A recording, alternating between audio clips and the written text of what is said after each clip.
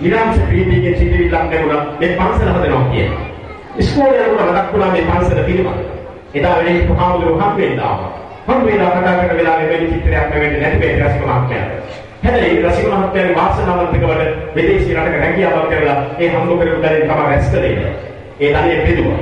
රටට බෙදුවා, ජාතියට බෙදුවා, ශාසනයට බෙදුවා. ගමට බෙදුවා. මම ඒකයි කිව්වේ මනලත් ජනතාවට කිරි බර දිමින් තියලා මේ බර ඔබතුමා ගත්තා. ඒ නිසා මම මේ මොහොතේ ආරාධනය කරනවා මේ දැන්වන පාන්සුලිය ආලෝක උදපාදි කියන බුද්ධ වචනේ තුළ ධර්මාලෝකයේ ආලෝකයට පත් කරන්න ඔබතුමා කටයුතු කළා.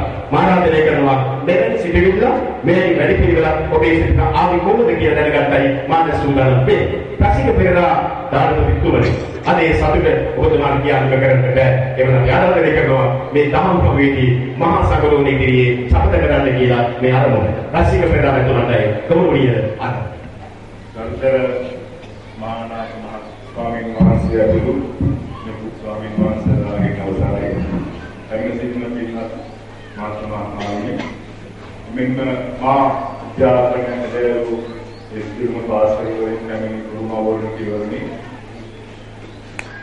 මේ අවස්ථාව ඇත්තම මම හිතන මම හිතන්නේ වසර 20 සිට සිදු සිහිනයක් සැබෑවීම මම හරිම කැමති මේ මෙතුමා ඇහුවා වගේ මේ අදහස මට ආවේ කොහොමද එතනද මම සම්ප්‍රාප්තිනේ කොහොමද කියලා කෙටියෙන් වචන කීපයක් ප්‍රකාශ කරමි. 979 අවුරුද්දේ මම ඉතුරුගල ප්‍රාථමික ප්‍රාථමික විද්‍යාලයේ අධ්‍යාපනය ලබන කාලේ. අපේ ලිප්පෙලිය සත්‍යවලදී ලොකුහාමුදුරුවෝ තමයි මේ විහාරස්ථානයේ වැඩ සිටින්නේ. ඉතින් හැමදාම අපේ අම්මා ගෙදර රස කෑමක් හැදුවොත් මොනවා හරි දෙයක් හැදුවොත් මට දෙනවා බාධකයක් ලොකෝමදන් කියන්නේ. ඒකම ඒ කාලේ පාස් කරනකොට මට අපේ අම්මා සත 60ක් දෙනවා. මල්ල මට ටිකට් එක ගන්න බාරයි. සත 20ක් තමයි මුදල කියන්නේ මල්ලත් ගෙදර වලද. යන්න සත 20යි, එන්න සත 20යි, සත 40යි. බඩස් කෙටියක් කාලා තේන් ටිකක් නැත්නම් දේක හරියක් පොඩ සත 20යි, සත 60යි. මම මේ නොදන්නානේ කියන මෙතන ඉඳන් තව කිලෝමීටර් 3ක් හෝ 4ක් ඉහළ අඳුරගෙන ඕනේ අපේ ගෙදර. ඒ වගේම පාරකට 3 කිලෝමීටර ගාන වැය වෙනවා. ගෙදර සිට ඉතුරුකල ප්‍රාථමික විද්‍යාලයට කිලෝමීටර් වයාමාරක් විතර උදේට පයින්. අවදක ඒ විද්‍යාලයට මම පයින්. බස් එක පෙනි පෙනි පයින් යනවා ඒ සතේ සමුයි කරා. සතාදලිය ගිහිල්ලා අවශ්‍ය අපේ අම්මට දුන්නාම මේ කවුරුත් නොදන්න දෙයක් මම දැන් මම මේකෙන් පරිගමනවා. අපි සහෝදරයෝ පස් දෙනෙක් හිටියා. ඒ පස් දෙනා අතර බෙදලා බෙදුණා කැටපහ.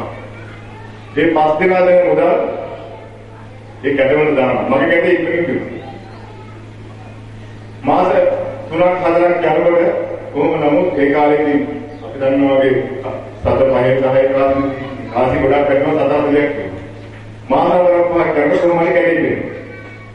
මම දන්නවා දැනගෙන මේ පළාතේ මේ රටේ පින්කෑනයක් නේ ඒකම බෞද්ධ මධ්‍යස්ථානය තමයි මේ මහරත්න බෞද්ධ මධ්‍යස්ථානය. ඔය පින්කෑනේ කරුණාව අපි අම්මා මට කියනවා මේක ලොකු ආම්රණ පූජා. ඉතින් මම ඒවා ඉතින් අම්මේ මට අපි ඇත්තටම ඉద్దර දුරක් තමයි වයින් කියනකොට මට ඒක ලොකු මාවකට තිබුණේ නෑ. ඉතින් මම අන්සල් වලට අපේ ස්වාමීන් වහන්සේ මාව ලේසියෙන් විදාන් කරන්නේ නැහැ. ඉතින් ගෙදර යන්නේ වත්ති ගන්න බලන්න. ඒ ප්‍රමාදනවත් එක්ක ගැටලුව අමාරුයි. පොඩි වයසේ ඒ අපේ ලොකු අමුතුම මාව කරනවා කියලා බෑ අන්සික් ගුරුනේ. මාව වෙන නවත් එක තමයි යා. ඉතින් පොඩි කම්මැලිකමක් තියෙනවා ඉතින් මෙතන ගොඩලා යන්නේ. ඒක. දැන් නම් බොහොම කැමැත්තෙන් ගොඩ වෙනවා. ඒම කරේ මට යමක් තේරෙනවා ඉතින් මට හිතෙනවා මෙහෙම කරේ මගේ මම අපේ ලොකුහාමුදුරන් වහන්සේ අතර තියෙන සම්බන්ධතාවය කරනවා. සම්බන්ධතාවය වැඩි කරන්න. බැඳීම ඇති කරන්න. ඉතින් මම ආපුවාම මට හිතෙනවා මේ අපේ ලොකුහාමුදුරන් වහන්සේ කිව්වා වගේ සුදන්ත කියලා තමයි. කියන්නේ අපේ ලොකුහාමුදුරන් මට සුදත්ත ගැන කියලා දෙනවා.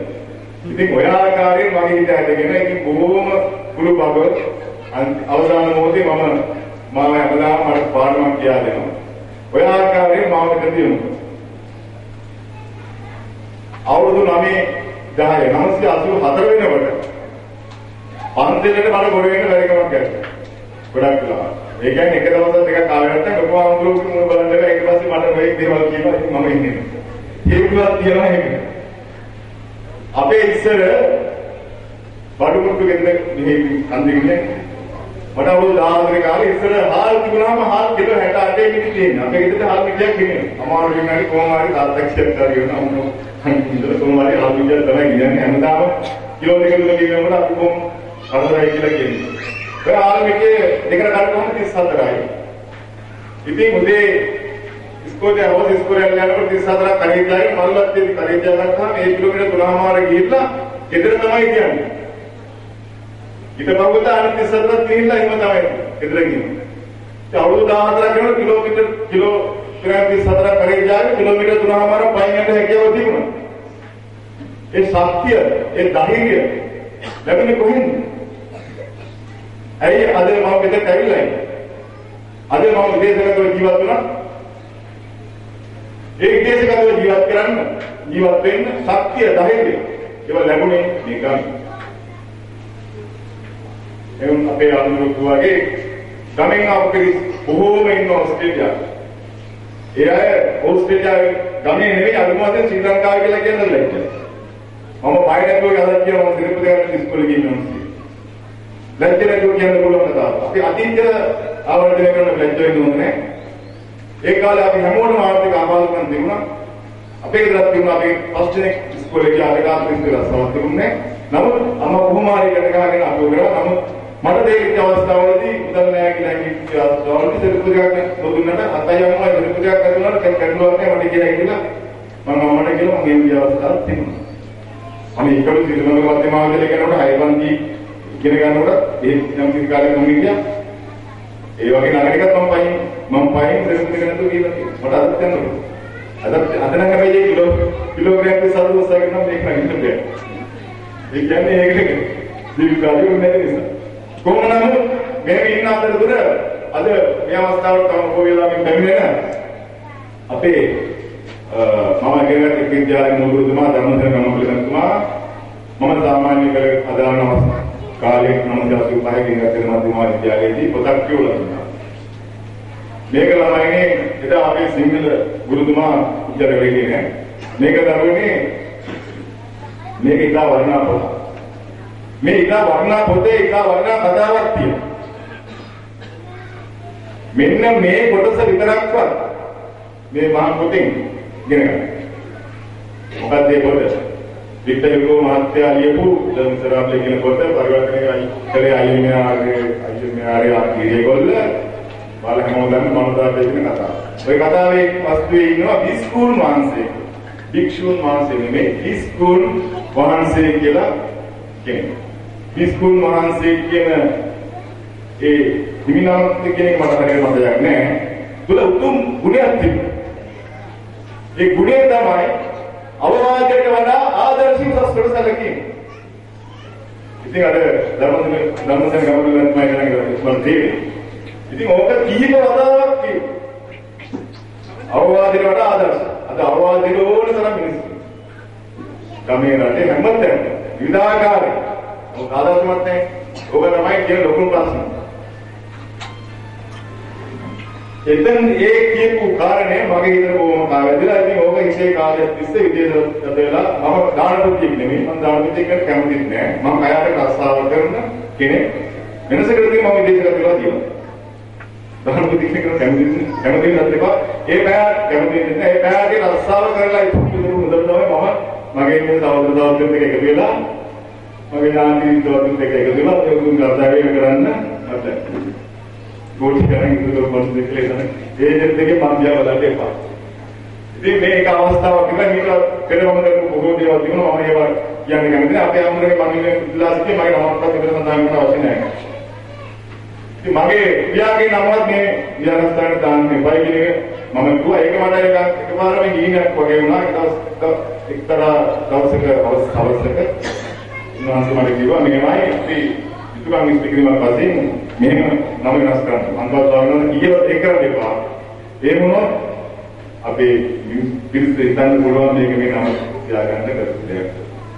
නෑ නෑ නෑ ඒ වගේ මම බාර ගන්න මම දායක සභාවත් එක්ක හැම එකක්ම කතා කරලා ඒ වගේ මම බාර ගන්න ඔබ තුමාට වදිනකත් යන්න මම ඉඳියන්නේ නෑ කියලා. අම්බ ස්වාමීන් වහන්සේ මම හිතන්නේ මේ තවත් දායක පිටසකට හිටියා. ඔයනේ ඔන්න මම නන්නේ මාව නම් ඔන්න අල්ලන්නේ කරන්න එපා.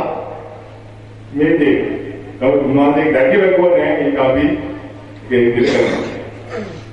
ඒක මගේම අදහසක් නෙමෙයි. ඒක වදින් කියන්නේ ඒ වගේ මේ පුණ්‍ය කටයුතු පටන් ගන්න ආරම්භයේදී මම අපේ ආමරණ්ඩ කිව්වේ මේ මේ කම්මලේ කිව්වම දුප්පත් මිනිස්සු. ඉන්දියාවේ එදිනෙදා අමාරුවේ දවසේ පළියෙන් ජීවත් වෙන අද ආර්ථික කෙනෙක් බොහොම ගැටලුවක් ලා තියෙනවා හැමෝටම මේ විශේෂයෙන්ම වර්ෂාව වගේ කාලවලදී මංග කිසිම බරකණක් දෙන්න එපා. අඩුම වශයෙන් වැඩි කඩයක්වත් උඩ දාගන්න මෙයාගේ ශ්‍රමය ගන්න එපා. මම මේක සම්පූර්ණයෙන්ම මේ විදිහම දන්නවා. කියන දේ මට උන්වහන්සේ කියනවා මොකද මම මේක ඉඳගත කළා. නමුත් දන්න ආකාරයට විවිධ ආකාරයෙන් මේ ප්‍රදේශවාසීන් හැකිය ආකාරයෙන් ශ්‍රමයෙන් සහයෝගය දක්වා මම ඒකට බොහොම ස්තුතිවන්ත වෙනවා.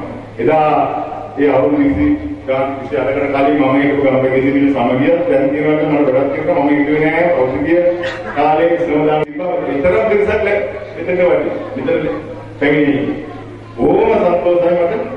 එදාගේ සමගිය අද එක වගේ තියෙනවා. මේ පිළිම වහන්සේ දැන්පත් කරනකොට මම දැන් එකක් අදලා ප්‍රණාම කරලා එක කතාවකට බොහොම ධෛර්යවන්තව අපි මේ දේ කළ යුතුයි කියන හැඟීම මත මේ මේ තරුණ පිරිස් වගේම අනිකුත් සෑම දෙනාම හැකියාවකාරී මේ දේ ස්පෙසිෆික් කරගන්න මට ශක්තිය ධෛර්යය දුන්නා අපේ ස්වාමීන් වහන්සේ ඇතුළු. බාධා නොපෙනුනා නෙවෙයි මම එකක් දෙකීම ලබා දෙනවා කොයි කොහේ ඉඳලා මොනතරම් හොඳ දෙයක් කරත් බාධාවල් වෙනවා. නරක දේවල් කරලා බාධාවල් අඩුයි. ඒක මම මන්දන්නේ අපේ ස්වාමීන් වහන්සේ මොනවා ආකල්පයක් දානවා කියලා ඔව් මගේ ආකල්පය ඒක. හොඳ දේ කරන හැම වෙලාවම බාධාවල් වෙනවා. ඒක නිසා මොන බාධාව ආවත් අපි මේ දේ කරන්න ඕනේ කියන හැකියාව මම ගාව තියෙනවා. වර්ෂාවට විශාල බාධාවක් වුණා. මම හැමතිස්සෙම මේ ඉුවා දන්නේ නැති. මම කෝ වර්ෂාවට අපිව පරාද කරන්න ඉඩ දෙන්න එපා. අපි වර්ෂාව පරාද කරමු. කියන්නේ අපි අපේ වැඩේ කරමු. වර්ෂාව නිසා ගස්කොලන් කඩවෙන්න ඉදිරි නැතුණා මම ජෙනරේටර් කරනවා. වැඩ කරනවා. වර්ෂාව නිසා වැඩ කරන්න බෑ. ඉදිරි දිග නා උඩින් එළුව අපි වැඩ කරනවා. ඒ උනතර මහින්ද කියමු. අපේ වැඩේ අපි කරනවා. ඉතින් ඒ වගේම මේ වැඩ කරපු පිරිසත් වාස්තික වගේම අපේ ස්වාමීන් එක්ක බොහොම සුළු බව පැහැදිලිමෙන් ඒ ශක්තියෙන් ධෛර්යයෙන් ඒ කරපු නිසා තමයි අද මේ දේ සිද්ධ කරන්න හැකියාව ලැබුණේ.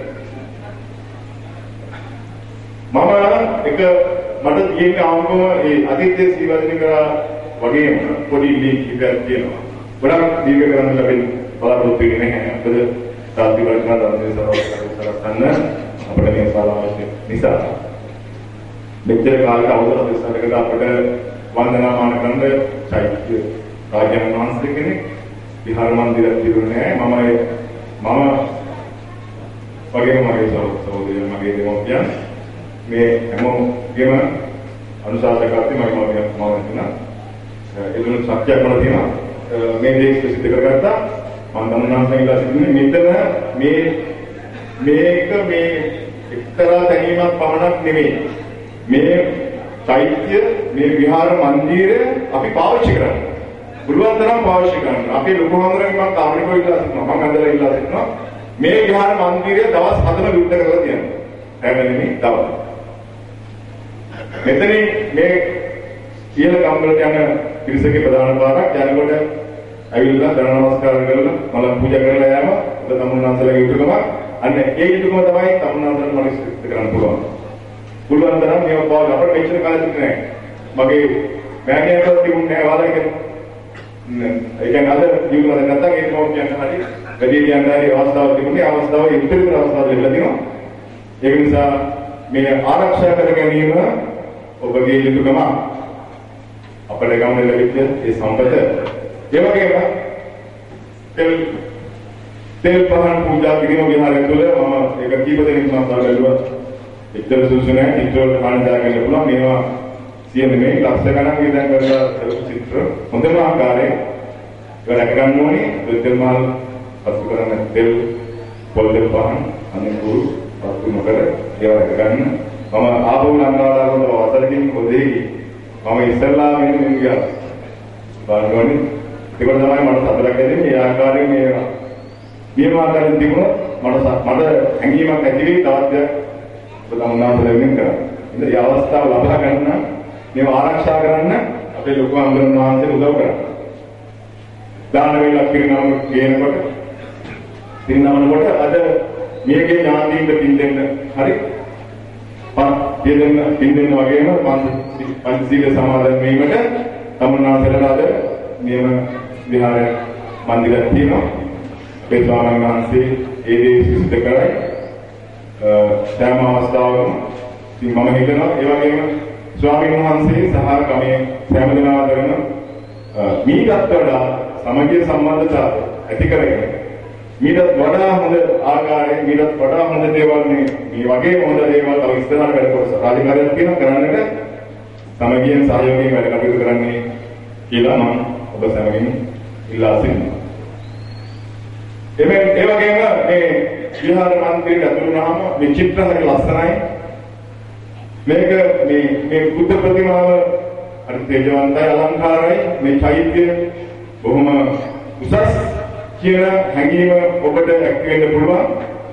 ඒ හැඟීම ඇති වූ පමණින්ම ඒ ශ්‍රද්ධාව ඒ මොහොතේ ඇති වූ පමණින්ම තමන් නියම බෞද්ධයෙක් වෙන්නේ පිළිපදින්න ඕනේ. බුද්ධ ධර්මය අවබෝධ කරගෙන බුද්ධ ධර්මය පිළිපදින්න බුදුන් වහන්සේ අපිට කියලා කියලා තියෙන ඒ සත්‍ය මැත්තේ ඉදිරියේ කරනගන්න ඔබේ දරුවන්ට ඔබ ආදර්ශමත් අම්මෙක් තාත්තෙක් වෙන්න.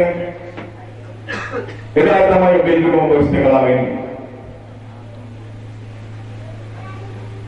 මම ඒ වගේම ඉල්ලා සිටින්නේ මගේ ඒ මම අන්තරේ මෙම්මට යොමුනේ කොහොමද කියලා ඔබ හැමෝටම කිව්වා. ඔබගේ දරුවාට ඔබ ආදර්ශයක් වෙන්න අවවාදයට වඩා. ඔබගේ දරුවා විහාරස්ථානයේ යොමු කරන්න. මම නොදැක්ක දේවල් නෙවෙයි. මම දැක්කු ඒවා විකල්ප මම මෙතන මේ අද මම ලංකාවේ ඉඳලා දැන් තුන් තුනක් කරා මේ විහාරස්ථානය වැඩිපුර වෙනවා මගේ ඉතින් මිනිස්සු ඕක අර සෝදා